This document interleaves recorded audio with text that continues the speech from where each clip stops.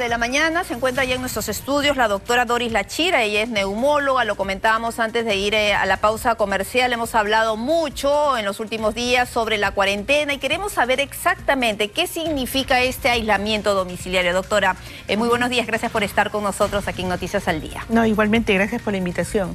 Bueno, cuarentena, como se ha mencionado, ¿no? generalmente es el, aislamiento de una persona que tenía una infección infectocontagiosa por 40 días. Pero en este caso, como estamos viendo en el caso del coronavirus, solamente se están aislando por 14 días, sobre todo en aquellas personas que tienen la presunción de estar contagiados. Que venga de un país de riesgo como China, España, Italia y otros eh, países europeos, tal como se ha anunciado eh, por parte del presidente de la República. Llega de viaje, bueno, viene de esos países de riesgo, no tiene síntomas porque, bueno, en algunos casos, en una primera eh, etapa, el COVID-19 es asintomático. Directamente se va a su domicilio. ¿Cómo tiene que cumplir esta cuarentena?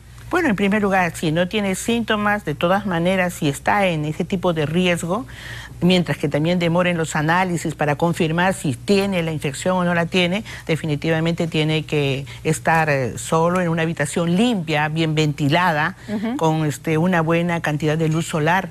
Esto es importantísimo. Porque la luz solar, las cortinas o las persianas abiertas. Todo abierto. Ventilado eh, aire acondicionado, ventilador, ¿es recomendable o no? Nada que ver porque también no olvidemos que los ventiladores, este, mejor dicho, que los aires acondicionados tienen filtros y generalmente los filtros deberían de cambiarse cada tres o seis meses. muchas veces no lo Porque están acostumbrados a que ese aire constantemente está removiéndose con ácaros, eh, partículas contaminadas y si no se limpian esos, esos filtros, definitivamente en lugar de mejorar estamos infectando más el ambiente. Y eso es importante señalarlo, bueno, sobre todo en esta época del año, ¿no? Que uno siente mucho calor y bueno, utiliza pues el aire acondicionado eh, y si está uno en cuarentena o está eh, con este aislamiento, pues definitivamente no es lo más eh, recomendable. ¿Y qué cuidados especial al interior de esta habitación que ha sido pues debidamente aislada, ventilada a la vez, aislada del resto de la vivienda, pero ventilada hacia el exterior?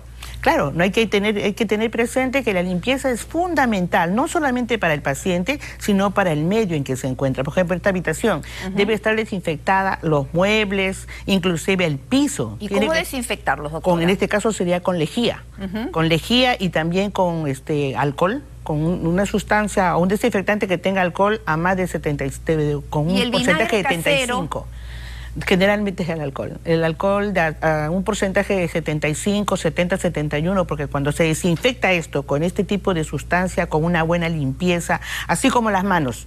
Uno se lava las manos por lo menos unos 20 segundos con entre los dedos, entre las uñitas, las manos bien lavado con jabón y agua y después hay que utilizar un gel, un gel de por lo menos con un porcentaje de 70 o sea, Las dos cosas. Claro que sí, porque es el bicho muere al minuto de haberse desinfectado en esta forma, tanto con un buen lavado de manos, con el jabón, con bastante agua y después nuevamente eh, eh, utilizar el gel, alcohol gel pero en un porcentaje de 70%, para que pueda el bicho morir. Porque no olvidemos... Chequear, ¿no? Las indicaciones. Porque el problema está de que cuando, el, suponiendo que está enfermo, está tosiendo, está estornudando el paciente, ese bicho, eh, bueno, los virus salen y caen al piso, porque se mantienen un determinado tiempo en el, en el aire y después caen. Pueden caer en la mesa. Por eso hay que estar eh, pasando eh, constantemente un trapo. ¿Hay que ponerse guantes? ¿Esos guantes descartables ayudan en algo?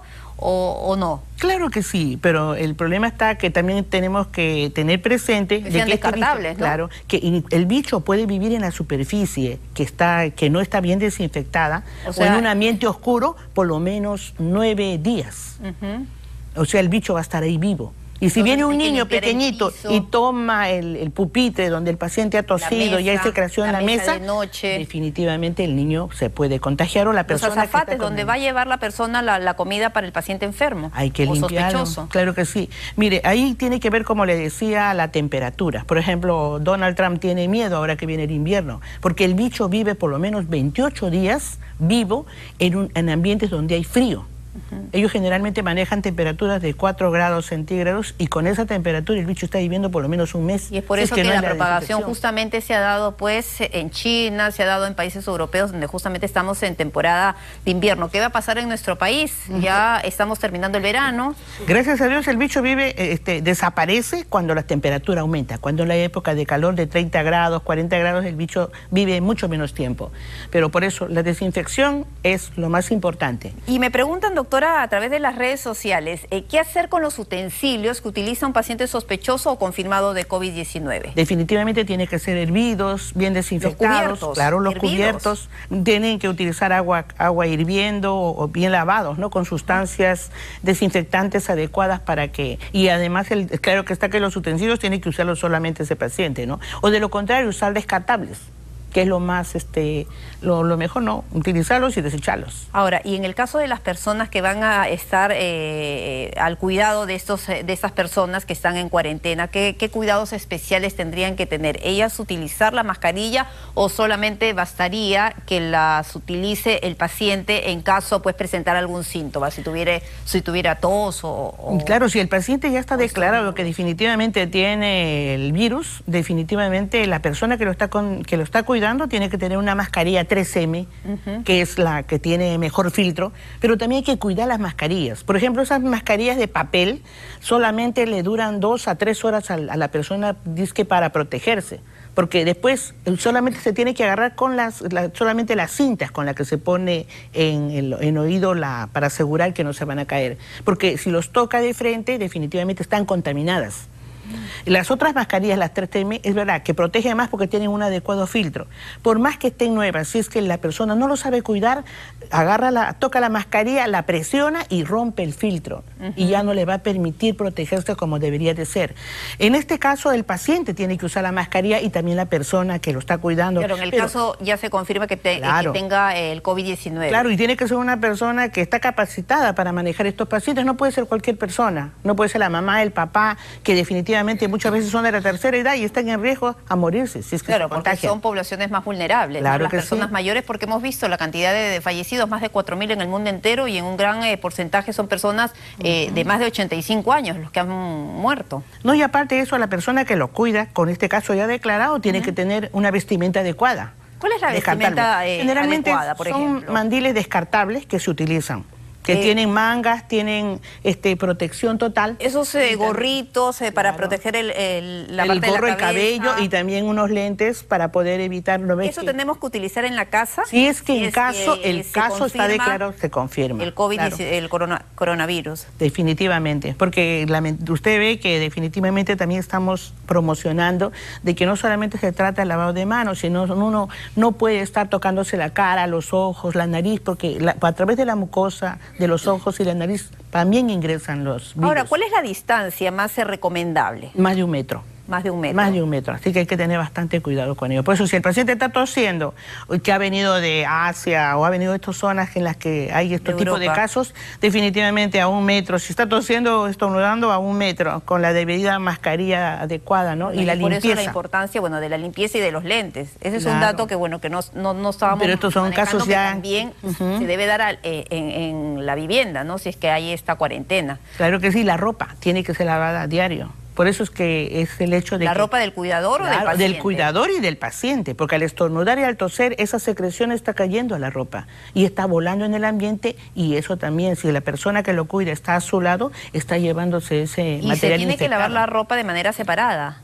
¿O se puede mezclar todo en la lavadora? No, definitivamente de, preferencia en la forma adecuada con el desinfectante adecuado. ¿Y, con eh, temperatura alta el del agua? Claro que sí. Bueno, en este caso, como tenemos las lavadoras y también las secadoras, ahí ya este, estamos desinfectando, ¿no? Pero de todas maneras hay que tener bastante cuidado con ella. ¿Y en el caso de la ropa de cama, por ejemplo? También, todo eso tiene que lavarse. de las almohadas?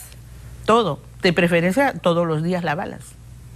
Porque no olvidemos que actualmente el, periodo de incubación del, bicho, del, virus es de dos a 14 días, pero hay, se ha reportado casos en la que los síntomas empiezan después de los, del al, día número 17 o a los 28 días. Por eso es que en Corea del Norte ha dado una cuarentena ya no de 14 días, sino hasta de un mes. Claro, entonces esta cuarentena de repente que estamos eh, nosotros adoptando por disposición eh, del gobierno no sería suficiente.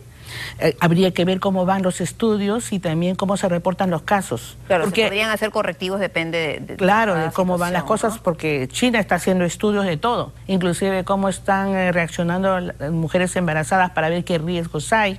Se ha visto que en este caso, como usted ha mencionado, las personas de la tercera edad son los más afectados y lamentablemente muchas veces es letal, pero en los niños es menos. Y hay pacientes que tienen tan buen sistema inmunológico que a pesar de ser positivo no tienen síntomas.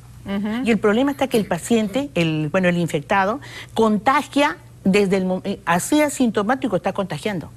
Y no sabemos desde cuándo ha estado contagiando. Por eso es que no se puede frenar esta, esta infección. Bueno, doctora eh, La Chira, como siempre, el tiempo nos va ganando, nos ha ganado, mejor dicho. Eh, unas últimas palabras ya para ir cerrando la entrevista. No, por lo contrario, agradeciendo la, invitación y no olvidemos lavarnos las manos, cubrirnos la boca, no toser este, directamente con la mano y a los niños enseñarles sobre todo cómo tienen que hacer su lavadito y también cómo tienen que toser o estornudar, porque ellos son los más, los más sensibles y también cuidar a nuestros viejitos, ¿no? Porque hay muchas muertes de ellos. No hay que ir a los Sobre todo, una buena alimentación, tiene que haber un buen ejercicio, una buena hidratación, que se vacunen contra la influenza. Actualmente que el Ministerio está, Escuché, eh, contra el neumoco, contra, contra, la neumonía también en el caso de las personas mayores, ¿no? También, también están en esto. O sea que es fundamental una buena alimentación, higiene, descanso, un buen sueño, una buena calidad de vida. Claro, esos días eh, libres no se, no van a significar que van a irse a pasear, a exponerse pues a mayores riesgos. Hay que eh, hacer caso pues eh, a todas las normas que se están disponiendo. Muchísimas gracias doctora por haber compartido estas importantes informaciones sobre qué significa pues estar en cuarentena. A esta hora 11.50 me tengo que despedir.